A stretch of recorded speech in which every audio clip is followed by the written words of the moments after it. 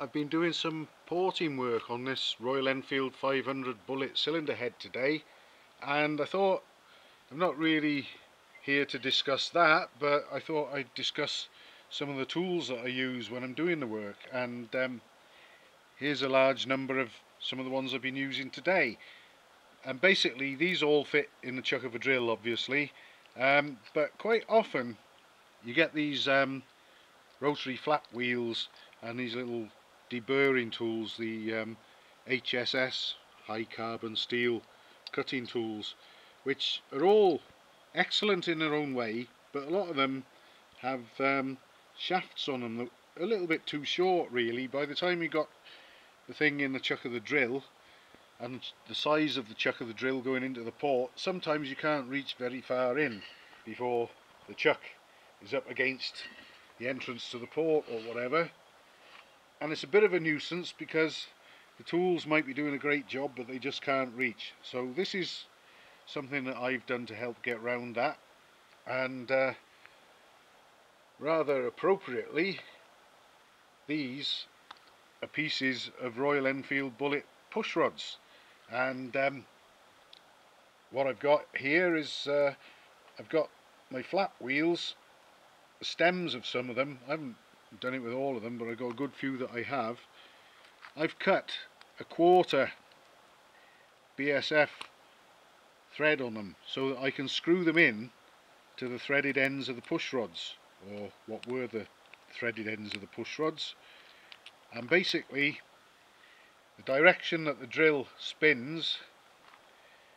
tends to tighten them you know they, they they won't work loose although you could actually add a lock nut for a little bit of peace of mind but uh, I wouldn't want a lock nut if I could avoid it for the same reason as I've ground down what used to be the hexagon ends of the push rods to a round shape because when you've got this lot spinning around in a drill especially with um, perhaps some of the smaller um, flap wheels fitted there is a risk or a possibility that your um, mandrel made of the push rod could touch the uh, wall of the port. Now it's nice and smooth and round but as it was originally hexagon all those sharp hexagon edges would be clattering against the wall of the port and possibly dig into it and mark it or make the uh, drill kick um, and could be quite a nuisance. So what I've done is I've spun these. I've got a lathe, but you could spin them in the chuck of a drill actually and just hold the um, flap wheel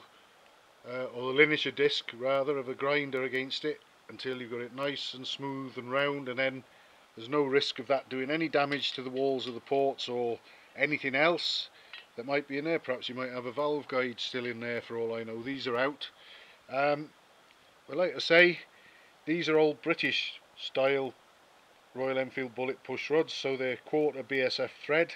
Later ones were M6 metric. Well, if they're M6, you can easily, just as easily, put an M6 tap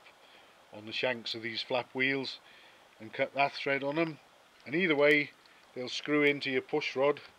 and you've got a nice extension. I mean, you could even have a longer extension I've just used them at this length but obviously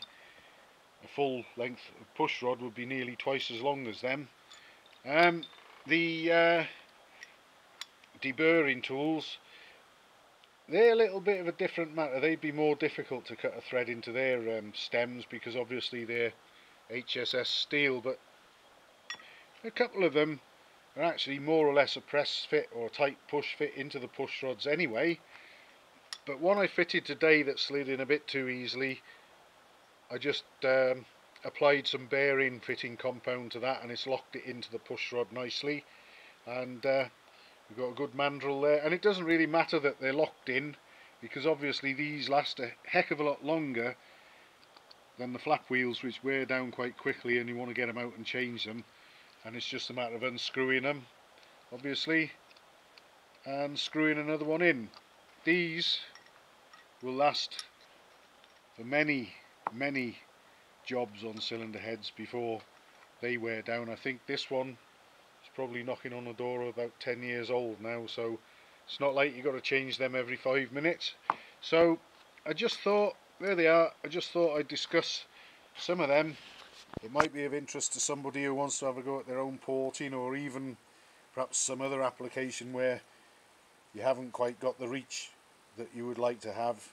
when you're using these things and it's just a simple matter of cutting a thread part way along the shafts and screwing them into those push rod ends and all of a sudden you've got a much more useful longer reach cutting or polishing tool to do the job.